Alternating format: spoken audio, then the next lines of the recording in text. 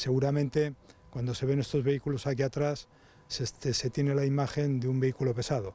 pero si se entra dentro se verá que la tecnología aplicada es una tecnología que está más cercana a la tecnología aeronáutica que no de la mecánica que todos conocemos. Es decir, es tecnología puntera en todos los ámbitos que eh, se utiliza en el ámbito de la defensa nacional, que es un bien público básico, eh, especialmente ahora. Además hay que tener en cuenta que vimos una gran paradoja en cuanto que eh, hay llamamientos mundiales para que haya una unidad en el mundo eh, para luchar contra la pandemia y sin embargo las tensiones internacionales se han incrementado. Por lo tanto no debemos descuidar la defensa, no debemos descuidar los materiales y ya digo que esto son materiales imprescindibles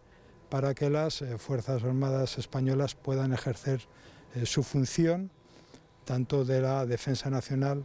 como lo que es la participación en los compromisos internacionales que España tiene, que son muchos y, que son importantes.